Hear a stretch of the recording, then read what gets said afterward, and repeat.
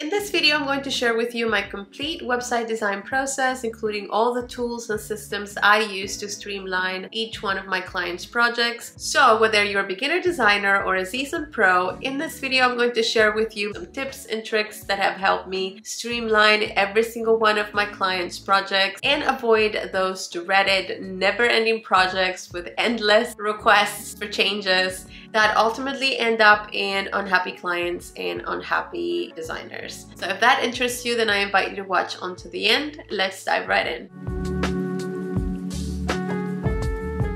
First, for those who are new, welcome or welcome back. For those of you who have subscribed to the channel already, I'm Mayra, I'm a web designer, and in this channel, I talk about design, business tools, and just in general, my own journey as a new content creator. So if any of those topics interest you, make sure you hit that subscribe button and also the bell notification button below. So I've been a freelancer for quite a few years, but I decided to niche down to web design in recent years. I'm not gonna tell you the whole story of how I became a designer, that will be a topic for a different video. But since I became a web designer and I'm also doing a little bit of branding work included in my project, I personally divide my web design process into five phases. The first phase of the process is what I call the discovery meeting or the discovery call. The second phase is the content preparation slash onboarding. The third phase is the branding phase. The fourth phase is the actual website design and development stage. And the last stage is the offboarding and the launch of the website. So let's start with the discovery call. The discovery call is typically a virtual meeting that sometimes can also be in person.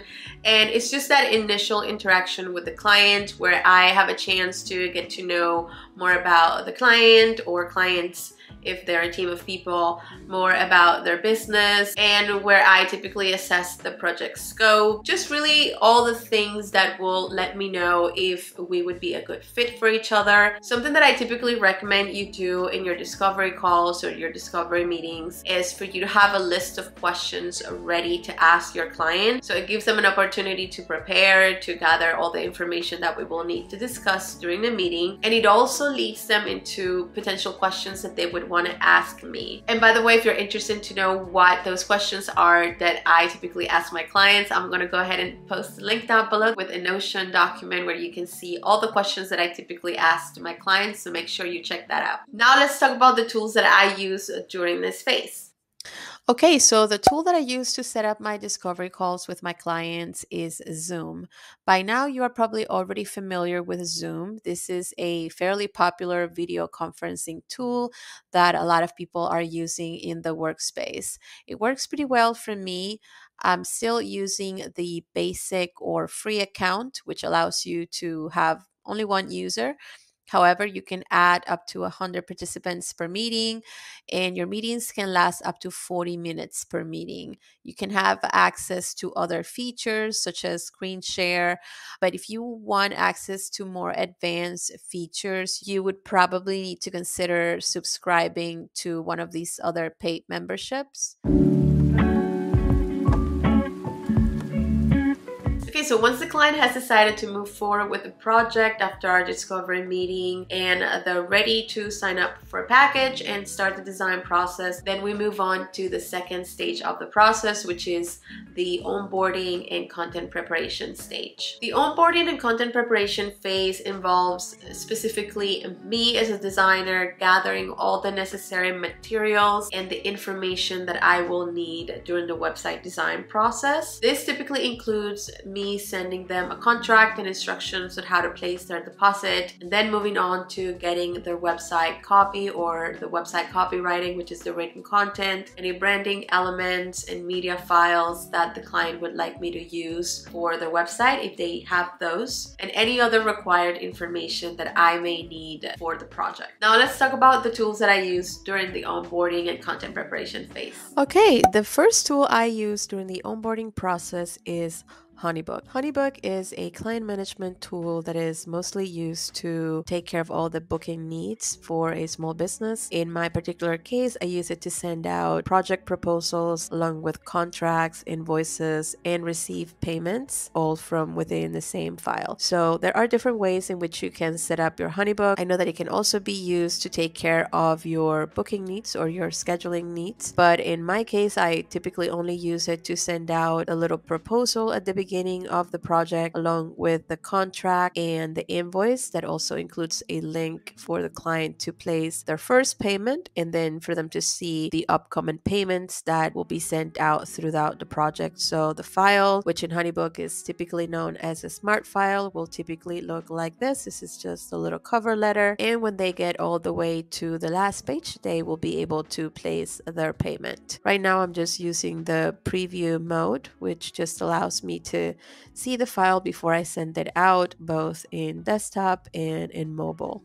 So it is something that I also appreciate because a lot of clients can easily take care of signing the contract, reading it, also go through this part of the process from the mobile device, which makes it even easier. I like to make this part of the process as easy and seamless as possible for my client. I really love the tool and I will continue to use it until something better comes up. the second tool I use during the content preparation slash onboarding process is Notion. I basically use Notion for the content preparation portion of the design phase, which comes before the website design and development phase. This is the part of the process where the client provides all of the written content and all the relevant information about their brand. I typically have three dashboards that I share with them. The first is the client portal. As you can see here, it just kind of looks like this. I have established all of the different phases of the design process so the client knows uh, specific tasks that will be designated to them, as well as some tasks that will be designated to me and some other links that will be included in the dashboard for easy access to the other dashboards. The second one is the brand and style questionnaire that kind of looks like this. I basically lay out some questions that they must go through in order to provide some important information about their brand and some other details that will serve in order to start creating their website. And the last one, but not least, is the actual website content guide where the client goes through and provides all of the different content for each one of their web pages. So, what I typically do is I go ahead and duplicate each one of these dashboards and then I go ahead and create a specific team space where I will add my client via their email so they are able to access each one of these dashboards and so they're able to easily edit and provide their content here. Okay, so once I've received all the required content from the client during the content preparation phase and I make sure that I have everything I need, then we officially enter into the branding phase. Now, I understand that not every designer provides branding services during their projects. If that is not you or you're just not interested in this phase, you can just skip ahead to this part of the video. Now, the branding phase for me is where the visual identity of the website starts to take shape. And this is particularly important because I've noticed that a lot of the clients that come to me, they come with absolutely nothing to start off. They don't have a logo. A lot of them don't have any colors or any idea of what custom typography is or anything like that. So I like to dedicate a whole entire week to the branding phase and during this time I focus on creating a logo for them plus any logo variations they may want. Then we choose a color scheme or the brand color palette which typically consists of about five colors. We also choose custom typography, so we select specific fonts that will represent the brand and just the overall aesthetic and the visual identity of the website and the brand as a whole. So dedicating a whole entire week to creating the visual identity of the brand kind of sets the stage on what direction the website design is going to take. So I make sure that they receive a brand guidelines presentation at the end of this week, as well as all the media files for their logo, custom fonts, and their colors. Now let's talk about the tools that I use during this phase. Okay, so one of the tools that I use during the branding phase is Pinterest. I know that Pinterest is mostly a social media platform, but I like to use it specifically as a collaboration tool where I can easily create and share a Pinterest board, an inspiration board, uh, once I start a design project and include my client in the board so that we can easily start adding pins for the desired aesthetic and the design direction of the project. Sometimes I notice that clients will have an idea in their heads about what they want as far as colors, fonts, or specific imagery. So I think it's a great tool that kind of helps me visualize the desired aesthetic and the design direction of the website. Okay, another tool that I love using during the branding phase is Inkscape. Inkscape is a free and open source vector graphics editor that is compatible with most systems, including Windows and Mac. I specifically use a MacBook and it works great with my computer. I would say that Inkscape is a tool that is pretty comparable to Adobe Illustrator, except Inkscape is completely free. You can download it in your desktop for free, and there are a bunch of tutorials on YouTube that you can watch to learn how to use the specific features. I love using it when it comes to logo design because it allows me to manipulate and change text and certain elements with uh, the note tool for example i can just change the shape of certain elements and provide a more customized logo to my client. So if you're looking for something to use in your web design or logo design or just in general as a graphic design tool i would highly highly recommend you check out inkscape Okay, and last but not least, I wanted to talk to you about one of my other favorite tools that I use during the branding phase, and that is Photopea. Photopea is an online photo editor that lets you edit photos, images, apply effects, filters, add text. You can crop, resize images. You can do a multitude of things. I would say that it's pretty comparable to Adobe Photoshop, except this is a free tool that you can actually access from your browser. So I typically use Photopea to showcase some of my work to some of my clients via PSD files or mockup files. So if I'm trying to showcase a logo concept to my client, for example, I will bring the design into a mockup or PSD file, and I will be able to show the client the logo in different scenarios, like on a business card, on a sign.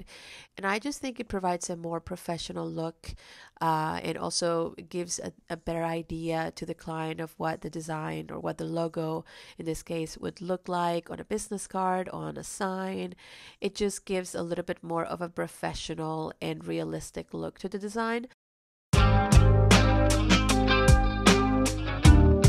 Okay, so once the branding phase has been completed and the client is happy with the visual identity for their website and the brand, then we officially move on into the website design and development phase. I typically dedicate about two to three weeks to this phase depending on how large or how big of a website this is going to be. The website design and development phase is where the actual creation of the website happens, meaning where I go on into designing each one of the web pages and applying any kind of custom code or any kind of third-party integrations needing for the website. So let's talk about the tools that I use during this phase. Okay, another amazing tool that I use in my web design business is Figma. Figma is specifically geared for designers, project managers, developers, really anybody involved in the web design or an web application process. It can be used to create, share, test designs for websites, mobile apps, and other digital products. I am absolutely loving this tool. I'm still learning it as I recently discovered it, but I cannot believe this is completely free and it is mainly used for me to be able to present the web pages or the concept for the main web pages for the website to the client. So it allows me to save some time by just creating kind of like a draft of uh, two of the main pages of the website and invite the client to collaborate into the interface for them to be able to provide direct feedback. I am really enjoying using this tool as a way of kind of saving time and the design space or kind of focus on designing the web pages, the main concept for the web pages, present that to the client to kind of set the tone of what the whole website is going to look like. So, highly recommend you check it out if you haven't already, and I will post a link in the description down below. Okay, so once the client is happy with the design that we created in Figma and no other edits are required, we move on to the development stage of the website, which is the actual creation of the website on Squarespace. Squarespace is my favorite web building platform and for good reasons. Though I build my websites from scratch and I don't typically use any templates, Squarespace does offer a library of stunning pre designed templates that, for somebody who is maybe not looking to necessarily hire a designer, uh, it provides them a good head start and lets them customize the look and feel of their website uh, according to their brand, according to their vibe. Another reason why I love Squarespace is because it is very user friendly, in my opinion. The drag and drop editor is amazing, it requires little to no coding experience, and it just provides a very intuitive and user friendly interface, which makes it a fantastic options for my clients. Now, this is actually a big advantage for my clients too because once the website has been built, I typically will deliver the website over to the client for them to be able to maintain it and upkeep it. And so, with the very intuitive and user friendly platform that Squarespace provides, my clients are able to easily make small edits themselves, like adding a new blog post, for example, or making small updates to their content without necessarily needing my help or without needing to have uh, an extensive knowledge on code. Okay, and a little bonus tip time. I want to talk to you about one of my very favorite tools when it comes to website development, specifically when applying code to my designs, and that is the Squarespace ID Finder. This is actually a Chrome extension that you can download completely for free into your computer, and as it, the name says it, you can use it to find the ID of collections, sections, or blogs on your Squarespace page. So if you're starting to dabble a little bit into code and you want a quick uh, solution to start triggering some elements to apply uh, some of your code to and start playing around with it, then I definitely recommend you check this one out.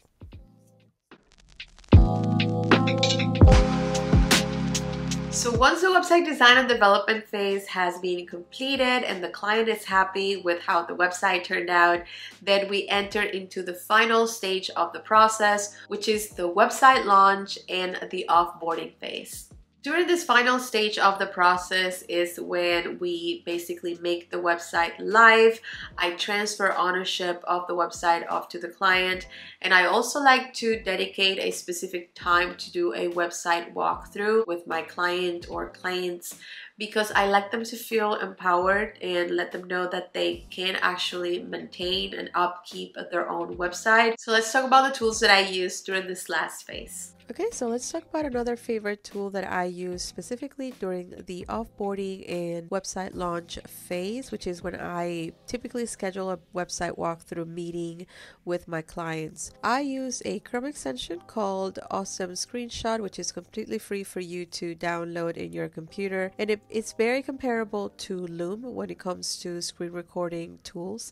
I particularly love this tool because it allows you to create a free account, and with your free account, you can record up to 20 recordings, and each recording can last up to six hours, which is especially helpful when it comes to recording my meetings. So I use this tool along with Zoom to be able to easily record my meetings and then share the video with my client at the end of the meeting so that they can go back if they want to review a portion of the video to start making edits to the website and be able to maintain their websites themselves. So I really love this tool. With a free account, you also have access to other features such as being able to edit your videos in real time through the same tool. You can also download your files in MP4 format. You can have access to other annotation tools and that is it. Those are all of the different tools and the different stages of my web design project. Let me know in the comments below if this has been helpful to you, if you already knew some of these tools. I would really love reading your comments and learning more about your own process, so make sure you drop me a line in the comments below. I really hope you found value in this video or you found some of this information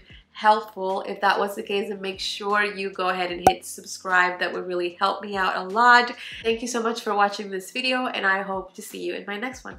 Bye now.